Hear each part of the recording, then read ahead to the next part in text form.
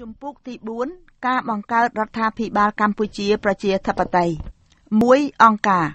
ទោះបីជាខ្មែរក្រហមបានធ្វើចម្បាំងប្រឆាំងនឹងរបបសាធារណរដ្ឋខ្មែររបស់លោកសេនាប្រមុខលន់ នល់អស់រយៈពេល5ឆ្នាំក៏ដោយ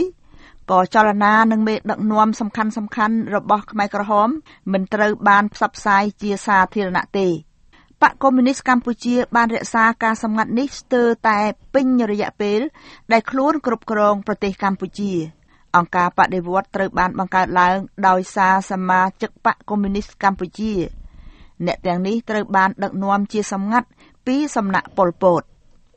នៅខែកញ្ញាឆ្នាំ1975គណៈកម្មាធិការមជ្ឈិមបកកុម្មុយនីសកម្ពុជា រួមមានប៉ុលពតនួនជាសៅភឹមអៀងសារី សុនសេនតាមុក និងវ៉នវ៉េតនៅឆ្នាំ1977សមាជិក3នាក់ទៀតញឹមរស់ខៀវសំផន និងកែពកត្រូវបានបញ្ចូលទៅក្នុងគណៈកម្មាធិការនេះប៉ុលពតអៀងសារីសុនសេន និងខៀវសំផន បានទទួលការអប់រំនៅប្រទេសបារាំងចំណែកនួនជាធ្លាប់បានសិក្សារៀនសូត្រនៅប្រទេសថៃនិងវៀតណាមសមាជិកផ្សេងទៀតនៃគណៈកម្មាធិការមជ្ឈិម មានចំណេះដឹងបន្តិចបន្តួចប៉ុណ្ណោះថ្នាក់ដឹកនាំបកកុម្មុយនីសកម្ពុជា ពីឆ្នាំ1976ដល់ឆ្នាំ1978ប៉ុលពតលេខាបកនួនជាអនុលេខាបកនៅជួរខាងក្រោមមានសៅភឹមអៀងសារីសុនសេនតាមុកវ៉នវ៉េតកែពកខៀវសំផនញឹមរស់វ៉នវ៉េតនិងញឹមរស់ ត្រូវបានសម្លាប់នៅឆ្នាំ1978សៅភឹមធ្វើអត្តឃាតនៅឆ្នាំ1978សុនសេនត្រូវបានសម្លាប់ក្នុងឆ្នាំ1997កែពកស្លាប់ដោយសារជំងឺនៅឆ្នាំ2002តាមុកស្លាប់ដោយជំងឺនៅឆ្នាំ2006ពីការយាងនិវត្តន៍មកដល់កម្ពុជារបស់សម្ដេចព្រះនរោត្តមសីហនុ រហូតដល់ចុងឆ្នាំ1975ខ្មែរក្រហមនៅតែហៅខ្លួនឯងថា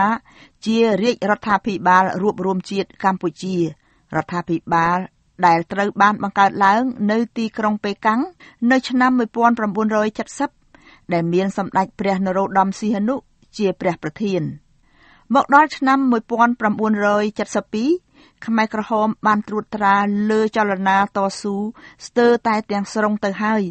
ប៉ុន្តែដើម្បីបានការទទួលស្គាល់ពីអន្តរជាតិនិងការគាំទ្រពីប្រជាជននៅក្នុងប្រទេស ចលនានេះនៅបន្តស្ថិតក្រោមអធិបតេយ្យភាពរបស់សម្ដេចព្រះនរោត្តមសីហនុ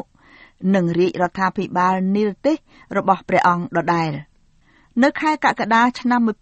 1975ខ្មែរក្រហមបានសុំយាងសម្ដេចព្រះនរោត្តមសីហនុដែលនៅពេលនោះ កំពុងគង់រាលទេសនៅទីក្រុងព្យុងយ៉ាង ប្រទេសកូរ៉េខាងជើង មកកម្ពុជា មុនយាងនិវត្តន៍មកកម្ពុជាព្រះអង្គបានយាងមកកាន់ទីក្រុងប៉េកាំងដើម្បីសុំលាប្រធានាធិបតីចិនម៉ៅសេតុង និងនាយករដ្ឋមន្ត្រីជូអេនឡាយដែលកំពុងសម្រាកព្យាបាលនៅមន្ទីរពេទ្យក្រោយមកព្រះអង្គបានមានព្រះបន្ទូលថា ការសម្រេចប្រតិយរបស់ខ្ញុំ ក្នុងការវិលត្រឡប់មកកម្ពុជាវិញមិនមានន័យថាខ្ញុំយល់ព្រមទទួលស្គាល់ខ្មែរក្រហមទាំងនោះទេប៉ុន្តែខ្ញុំត្រូវតែធ្វើពលិកម្មដើម្បីជាកិត្តិយសដល់ប្រទេសចិន ហើយជាពិសេសដល់លោកនាយករដ្ឋមន្ត្រីចិនជូអេនឡាយដែលបានជួយប្រទេសកម្ពុជា និងខ្លួនខ្ញុំយ៉ាងច្រើនលើសលប់ព្រះអង្គបានយាងត្រឡប់ជាមួយព្រះមហេសីនៅដើមខែកញ្ញា ដោយមានសម្ដេចប៉ែននុត នាយករដ្ឋមន្ត្រីនៃរាជរដ្ឋាភិបាលរួមរូបជាតិកម្ពុជាខៀវសំផនអៀងធីរិតនិងរាជវង្សានុវង្សមួយចំនួនអមព្រះរាជដំណើរទៀតផង បន្ទាប់ពីយាងនិវត្តន៍មកដល់កម្ពុជាភ្លាមព្រះអង្គបានធ្វើជាអធិបតីក្នុងសម័យប្រជុំគណៈរដ្ឋមន្ត្រីមួយប៉ុន្តែមិនត្រូវបានអនុញ្ញាតឲ្យមានព្រះបន្ទូលអ្វីទាំងអស់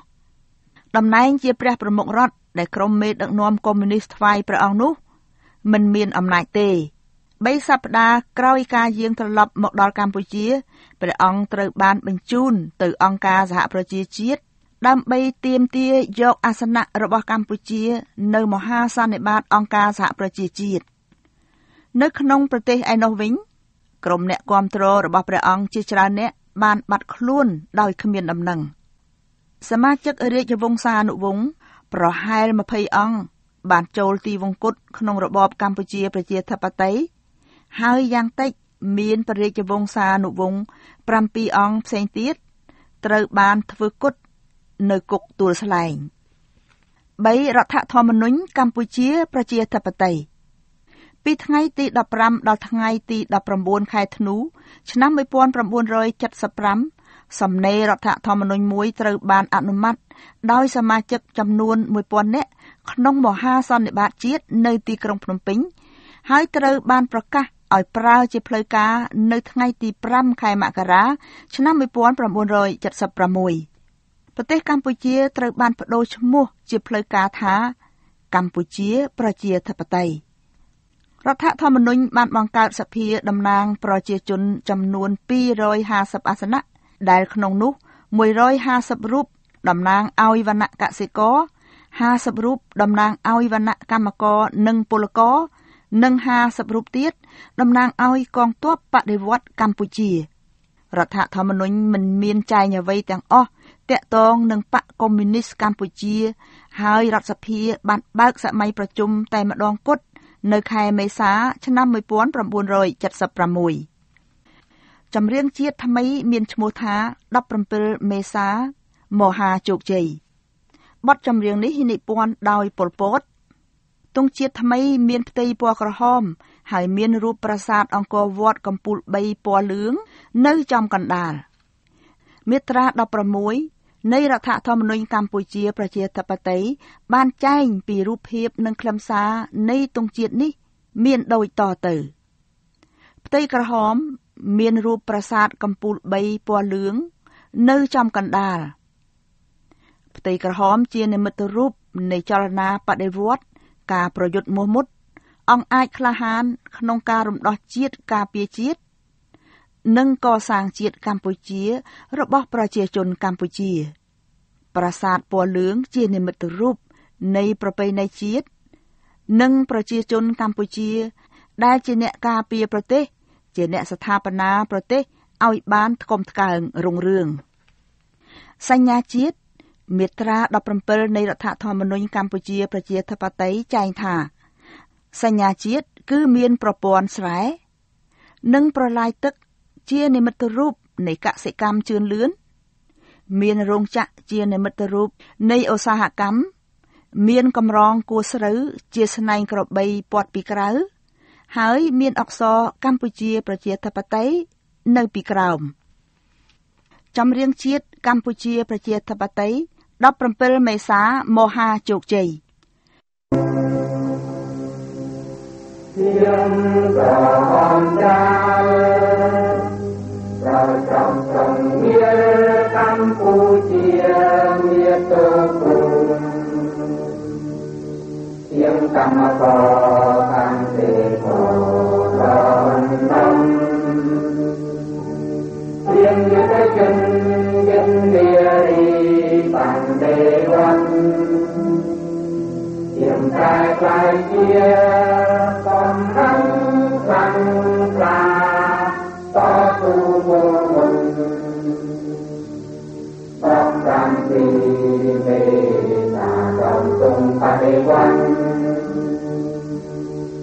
siêu nhân tâm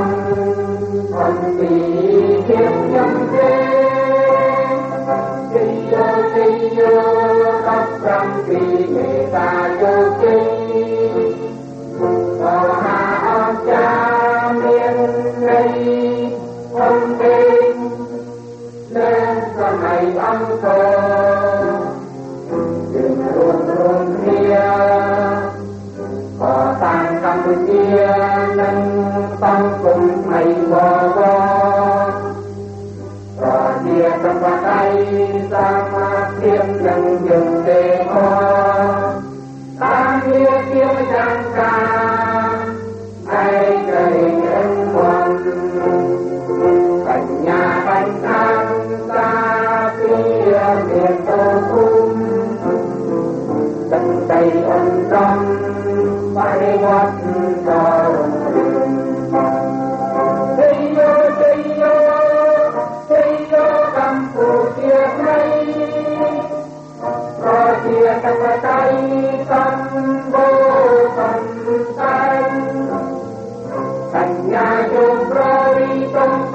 4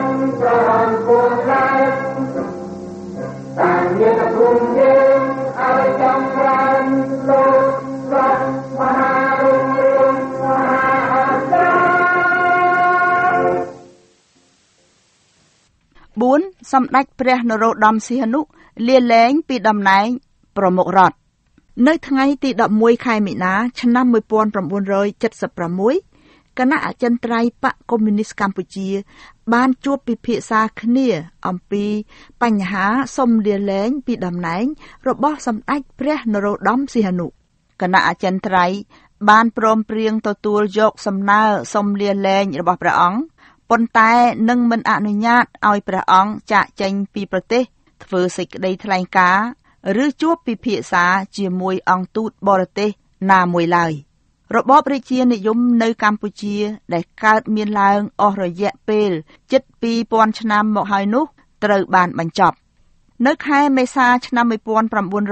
1976សភាតំណាងប្រជាជនកម្ពុជា បានបើកសម័យប្រជុំលើកទី1និងតែម្ដងគត់របស់ខ្លួនអង្គប្រជុំបានព្រមព្រៀងគ្នាជាឯកច្ឆន្ទទៅលើសំណើសុំយាងចូលនិវត្តន៍របស់សម្ដេចព្រះនរោត្តមសីហនុ ដោយផ្ដល់ថ្វាយព្រះអង្គនៅប្រាក់សោធននិវត្តន៍ចំនួន8000ដុល្លារសហរដ្ឋអាមេរិកក្នុងមួយឆ្នាំ ដែលមិនដែលបើកថ្វាយព្រះអង្គទាល់តែសោះព្រះអង្គនិងព្រះរាជវង្សានុវង្សត្រូវបានឃុំឃាំងនៅក្នុងគេហដ្ឋានតូចមួយ នៅក្នុងព្រះបរមរាជវាំងព្រះអង្គបានជាប់ឃុំនៅទីនោះ រហូតដល់ខែមករា ឆ្នាំ1979 គឺរហូតដល់ថ្ងៃដែលរលំនៃរបបកម្ពុជាប្រជាធិបតេយ្យ5រចនាសម្ព័ន្ធចាត់តាំងរបស់កម្ពុជាប្រជាធិបតេយ្យបកកុម្មុយនីសកម្ពុជា គឺជាអង្គការតែមួយគត់ដែលមានអំណាចនៅក្នុងរបបកម្ពុជាប្រជាធិបតេយ្យ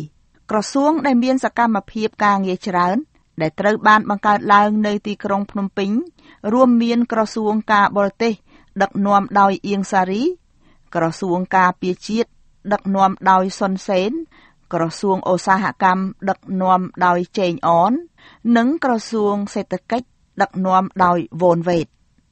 គណៈកម្មាធិការតែមួយគត់ដែលមានសិទ្ធិអំណាចក្នុងការធ្វើសេចក្តីសម្រេចចិត្តនិងអនុម័តគោលនយោបាយរដ្ឋាភិបាល និងលក្ខន្តិកៈផ្សេងៗ គឺគណៈកម្មាធិការអចិន្ត្រៃយ៍បកកុម្មុយនីសកម្ពុជា ដែលមានប៉ុលពតជាលេខានិងនួនជាជាអនុលេខាមេដឹកនាំបកកុម្មុយនីសកម្ពុជា មិនដែលយកចិត្តទុកដាក់គោរពរដ្ឋធម្មនុញ្ញនិងបទបញ្ញត្តិនានា ដែលមេដឹកនាំទាំងនេះ ជាអ្នកអនុម័តបង្កើតឡើង ដោយខ្លួនឯងម្ដងណាទេ សមាជិកនៃគណៈកម្មាធិការអចិន្ត្រៃយ៍ និងគណៈកម្មាធិការមជ្ឈិមបកក៏មានតំណែងនៅក្នុងរដ្ឋាភិបាលដែររចនាសម្ព័ន្ធគ្រប់គ្រងរដ្ឋខៀវសំផនប្រធានគណៈប្រធានរដ្ឋប្រមុខរដ្ឋនួនជា ប្រធានសភាតំណាងប្រជាជនកម្ពុជាប៉ុលពតនាយករដ្ឋមន្ត្រីអៀងសារីឧបនាយករដ្ឋមន្ត្រីរដ្ឋមន្ត្រីក្រសួងការបរទេស វ៉ុនវេតឧបនាយករដ្ឋមន្ត្រីរដ្ឋមន្ត្រីក្រសួងសេដ្ឋកិច្ចសុនសេនឧបនាយករដ្ឋមន្ត្រីរដ្ឋមន្ត្រីក្រសួងការពារជាតិ6ការផ្លាស់ប្តូរថ្ងៃកំណើតបកនៅខែមិនិនាឆ្នាំ1976គណៈកម្មាធិការមជ្ឈិមបកបានសម្រេចយកឆ្នាំ1960មិនយកឆ្នាំ1951ជាឆ្នាំកំណើតបកកុម្មុយនីសកម្ពុជា មេដឹកនាំទាំងនោះ បានសម្រេចថាអ្នកទាំងឡាយណាដែលចូលជាសមាជិកមុនឆ្នាំ1960នឹងមិនត្រូវបានចាត់ទុកជាសមាជិកបកទៀតទេមជ្ឈិមបកមិនចង់ទទួលស្គាល់សារៈសំខាន់នៃការជួយជ្រោមជ្រែងរបស់វៀតណាមមុនឆ្នាំ1960ឡើយហើយចង់បដិសេធចោលអធិបុលរបស់វៀតណាមមកលើបកកុម្មុយនីសកម្ពុជា និងចង់កាត់ផ្តាច់ទំនាក់ទំនងទាំងឡាយដែលធ្លាប់មានជាមួយវៀតណាមផងបកកុម្មុយនីសកម្ពុជា បានបន្តដឹកនាំប្រទេសជាសម្ងាត់នៅក្រោមឈ្មោះថាអង្គការទោះជាយ៉ាងនេះក្តី នៅខែកញ្ញាឆ្នាំ1977គឺមុនដំណើរទស្សនកិច្ចទៅប្រទេសចិនបន្តិចប៉ុលពតបានប្រកាសជាសាធារណៈ នៅអតិភិបរបស់បកកុម្មុយនីសកម្ពុជា និងទួនាទីរបស់ខ្លួន ជានាយករដ្ឋមន្ត្រីនៃកម្ពុជាប្រជាធិបតេយ្យ